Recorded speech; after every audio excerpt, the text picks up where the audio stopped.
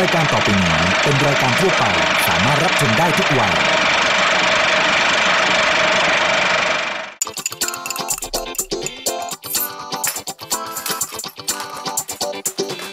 กินได้ กินไม่ได้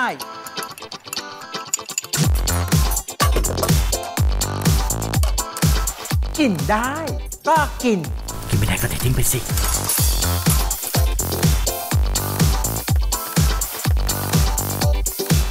สนับสนุนโดยผลิตภัณฑ์ผลไม้ fruit spread และน้ำเชื่อมแต่งกลิ่นตราเนเจอร์เทส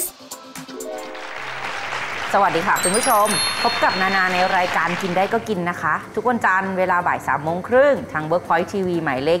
23เห็นหน้านานาทุกสัปดาห์เนี่ยนานาก็จะมีเคล็ดลับงานครัวดีๆ มาฝากคุณผู้ชม สัปดาห์นี้ก็เช่นกันค่ะคุณผู้ชม เรามาพูดกันถึงเรื่องกระหล่ำปลีค่ะ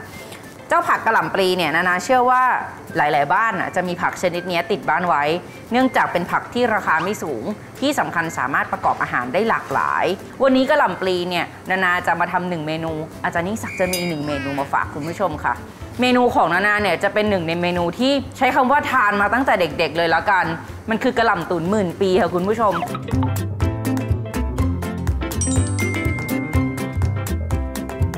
หลายบ้านจะนิยมเอามาทานในช่วงเวลาที่รับประทานเจ ถ้าไม่รับประทานเจก็สามารถใส่เนื้อสัตว์ลงไปได้ วันนี้นานาจะทำไม่ใช่เมนูเจ แต่ว่าอร่อยไม่แพ้กันกระหล่ำของเราเนี่ยบ้านนานาเนี่ยนะจะนิยมผ่าออกมาเป็น 4 ส่วน แต่ผ่าแบบไม่ให้ขาดออกจากกัน แล้วก็ตุ๋นทั้งทั้งหัวอย่างนี้เลย แต่ด้วยความที่ปัจจุบันเนี่ยคุณผู้ชมหลาย ๆ บ้านเนี่ยไม่ได้มีหม้อใหญ่ขนาดนั้น เพราะฉะนั้นเนี่ยเราหั่น ออกมาเป็น 4 ส่วนเลย แล้วเดี๋ยวจะมาจี่ลงนะคะทะในน้ำมัน แล้วก็มาตุ๋นด้วยกันค่ะ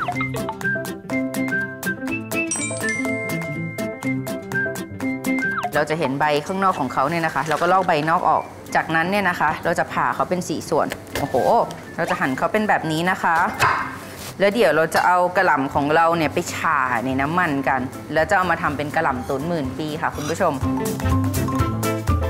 ล็ดลับของการทำกระหล่ำตุ๋นหมื่นปีสำหรับบ้านเราเนี่ยเราจะเอาเจ้ากระหล่ำปลีเนี่ยนะคะ มาฉาในน้ำมันก่อน การฉาในน้ำมันเนี่ยจะทำให้กระหล่ำของเราไม่เละเวลาต้มที่สำคัญเนี่ยนะคะ ทรงของเขายังสวย ที่สำคัญที่สุดเนี่ยมันจะมีกลิ่นหอมๆหนึ่งกลิ่นที่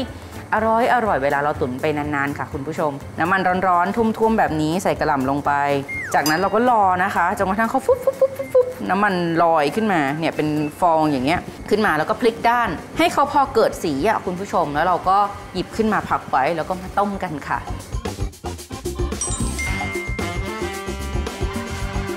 เอาละค่ะ จุดสังเกตว่าใช้ได้ที่แล้วเนี่ยคุณผู้ชมจะเห็นใบกระหล่ำของเราลอยขึ้นมาบางส่วนแล้วเริ่มมีสีเปลี่ยน เราพลิกด้านเขา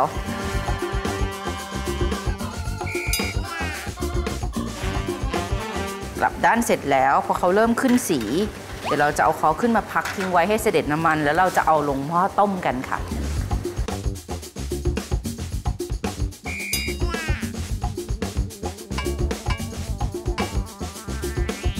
เดี๋ยวเรามาตุ๋นกระหล่ำตุ๋นหมื่นปีกันค่ะอะตักใส่ถ้วยนะ นุ่มมากนุ่มมาก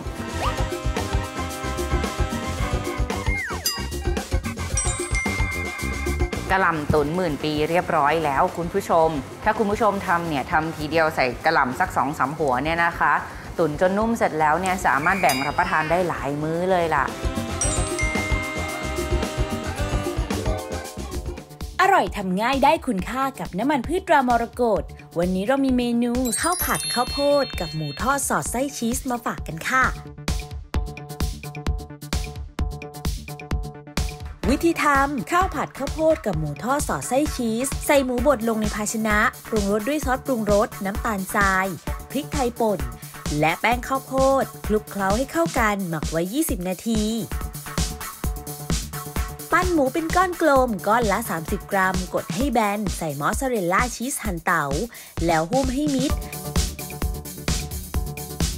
นำมาคลุกกับแป้งทอดกรอบเตรียมไว้ ใส่น้ำมันรำข้าวรามรกตลงในภาชนะนำขึ้นตั้งไฟ พอร้อนนำหมูลงทอดจนสุกแล้วตักขึ้นเสด็จน้ำมัน ใส่น้ำมันรำข้าวตรามรกตลงในภาชนะนำขึ้นตั้งไฟ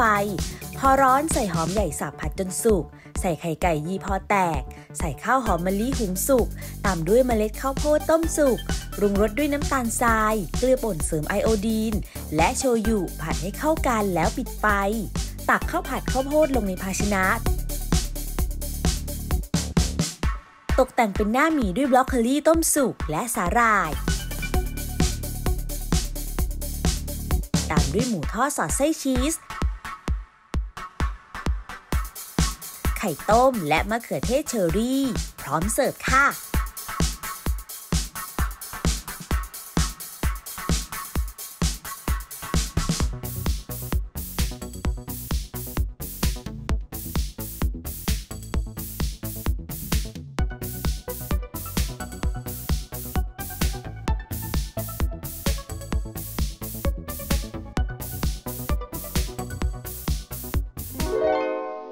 ช่วงอร่อยง่ายได้ใจสนับสนุนโดยโลโบ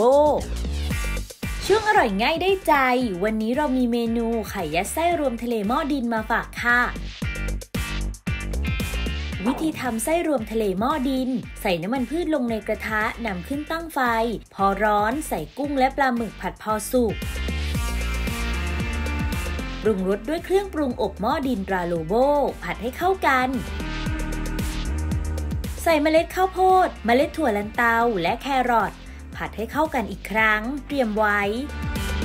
วิธีทำไข่เจียวสำหรับห่อ ใส่ไข่ไก่ลงในภาชนะเติมน้ำมะนาว และแป้งข้าวโพดละลายน้ำตีผสมให้เข้ากัน อุ่นกระทะทาน้ำมันพืชบางๆ ตั้งไฟพอร้อน กรอกไข่ลงในกระทะเป็นแผ่นบาง ใช้ไฟปานกลางจนสุกแล้วยกลง วิธีประกอบไข่ยัดไส้รวมทะเลหม้อดิน กรูไข่ที่ทอดไว้ลงในภาชนะ ตักไส้รวมทะเลหม้อดินห่อเป็นทรงสวยงาม วางลงบนภาชนะสำหรับเสิร์ฟ ใช้มีดกรีดด้านบน ตกแต่งด้วยช่อผักชีและพริกชี้ฟ้าแดงหั่นเป็นเส้น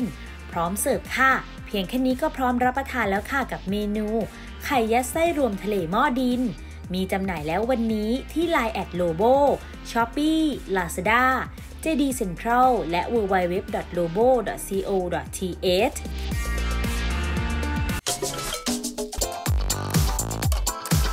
กินได้ก็กิน กินไม่ได้ก็เททิ้งไปสิ